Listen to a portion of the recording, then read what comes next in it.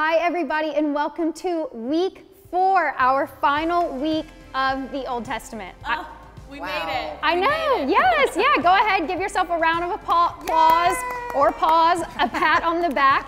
And so, before we jump into our longing for this week, Kendra, so Kendra and I, we've been your guides. We have been helping lead you through this study, but we have a really, really fun guest with us. And so, we thought, who better to join us for our halfway point than our senior director of OBS and First Five, Melissa Taylor. Thank you. You guys, I have been chomping at the bit to get here. I am so happy to be with you this week. Melissa, we're so excited to have you here this week. And so, before again we get into the longing, I have a really fun question to ask the both of you. okay. Okay. I want you to think about all the movies that you watched um, growing up. Maybe it's Disney movies, Disney princesses, the classics. Uh, maybe it's movies you've watched with your children, Melissa, as well. And I want you um, to name and describe one or two of those movies. Okay. Okay. So one that comes to mind would be Rapunzel from Tangled, and she is a princess. Tr- Uh, locked in a tower, and she just wants to explore the outside world and let down her golden locks and just go outside her window. And you have golden locks now. Oh, yeah, to match yes, her. Yeah, yes. yeah. I love that. What about you, Melissa? There's a lot of good music in that movie too. Yes, had there is. time, we'd sing it. Right? We would. We we would. won't. Okay. Mine isn't a Disney princess, but it's still Disney though. It's Finding Nemo. All right. And here's why I love this movie. I think it is such a beautiful picture of a father's love for his son. Hmm. Because Nemo, in case you don't know, Nemo gets captured and in the sea and ends up in an aquarium in a dentist's office, okay?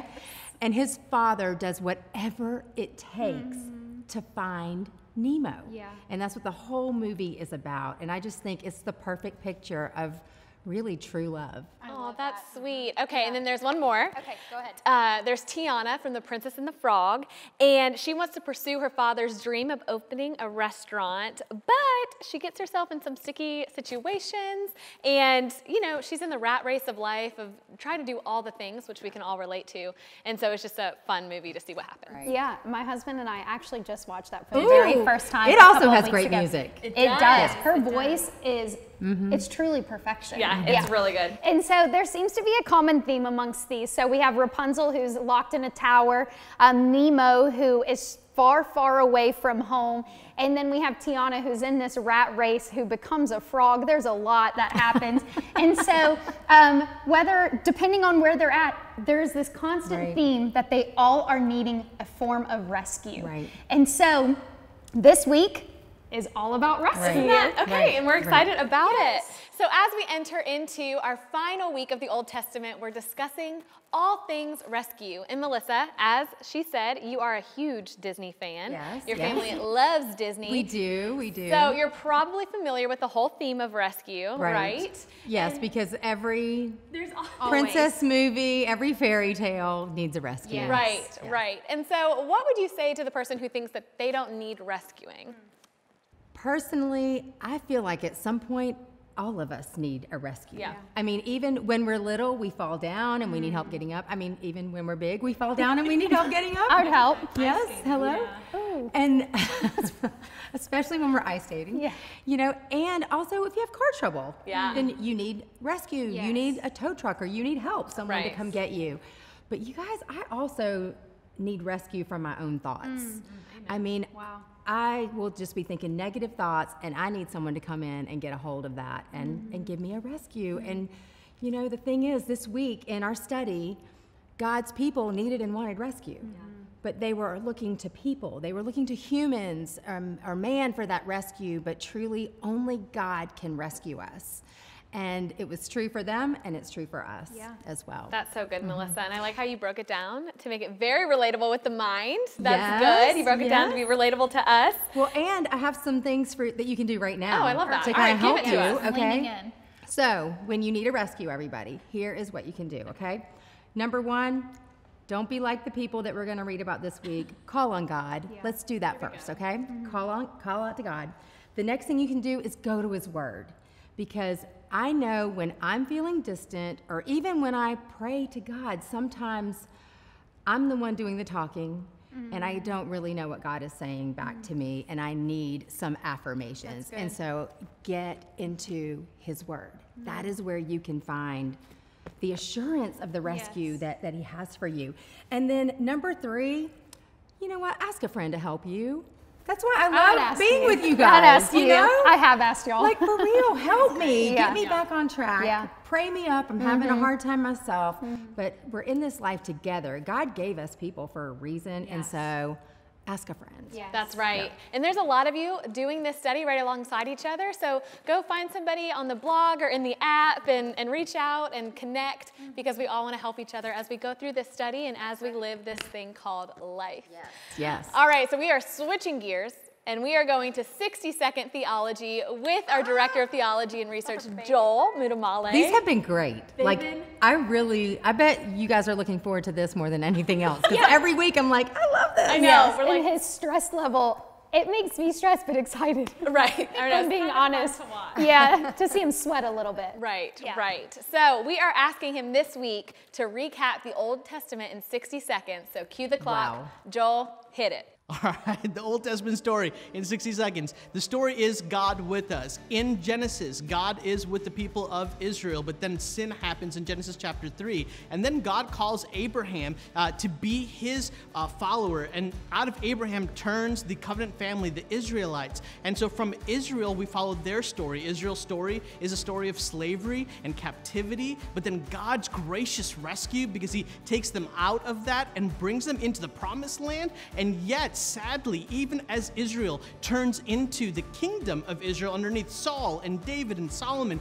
and Jeroboam and Rehoboam, the kingdom becomes divided into two separate kingdoms. From there, uh, the story of Israel again has oppression because you've got Babylon and Assyria, and ultimately we end the book of the Old Testament, Malachi, with 400 years of silence. But the constant thread throughout the entire thing is that God has been with his people. Okay, girls, can we talk about how he actually did that? He did it In 60 seconds. The whole Old Testament. with a lot of kings thrown in there, like Rehoboam. Jeroboam. When he said that, I was like, there's just no way. Right, I yeah. doubted, but he pulled through. He did it, yes. He was great. Yeah. Well, Hannah, something about Melissa that you may not know is she was in a lot of the online Bible studies videos back in the day. And one of our favorite things that she ever did. made me sound so old. Sorry. Back in the day when, you know, the dinosaurs were roaming the earth, Melissa made some videos. but look at her now. I haven't been gone that long. No, and you're not. You're not even gone, Melissa. That's the thing. Well, maybe a year or so ago, she played the part as a quit coach. And for those of you that may not have seen that, that's where Melissa really um, plays the coach and pumps you up. Motivates you. yeah, yeah, you Gets you excited. you got it, girl. Not to quit. doing it now. So we want the quit coach to come back for these videos. Okay, all right, but if I'm gonna play the part, I think I need to dress the part. Oh, well, great. Okay, we just got you covered. Here you go. Okay. Look what we just happened to have. Here you go, coach. My old Quit Coach hat. There it is. Cap. Now it says OBS because I've been the OBS Quit Coach. So just imagine that it says 40 days, first five in OBS. Okay. Great. Here we go. Your clipboard, coach. Clipboard because every good coach has a clipboard with you know The notes or the the notes. play. Yeah. Yes, on how to win the game. So. Right. And so, Melissa, tell our ladies how they can keep going, motivate them to continue in the study. Absolutely. Okay, you guys, you've made it this far, all right? We're halfway through. Keep going and don't quit, all right? If you were playing a football game, it's not over at halftime, all right? You still got the rest of the game to go. And let's say you're a little behind. No worries. Doesn't matter. Pick up where we are now. The bottom line is don't quit. Here's some ways to keep you focused, okay? Number one, make a commitment. Don't give up now. Mm-hmm. In the comments, you guys tell each other, don't give up now. Get back where you are. Just start where we are today, all right? Persevere. Number two, let's just face it. Here's the reality, girls. It's gonna be easy to quit. Mm. Uh-huh. This is, you're either doing this on the app or you're doing this online. And so there's not people around you. You cannot do your Bible study maybe unless you're in like a face to face group or an online study group or something like that. So you've got to be the one to keep yourself Right. motivated and going every single day. It's going to be easy to quit, but guess what? Just say no to quitting, okay? All right, number three. It's not called 20 days through the Bible, Oh, She went there. It's called 40 days through the Bible, you guys.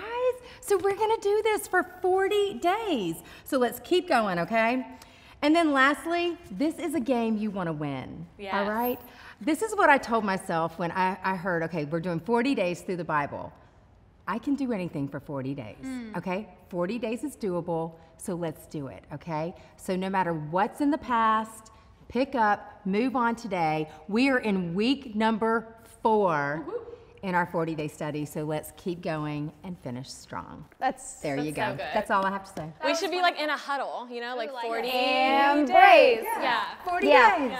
And now I think I'm gonna go run a marathon. Maybe not. I probably shouldn't, but um, I'll coach you. you. I'll yeah, cheer for you exactly. on the yeah. sidelines. Yeah, I think it was so motivating um, and so helpful because life happens, and so we understand that. Mm-hmm.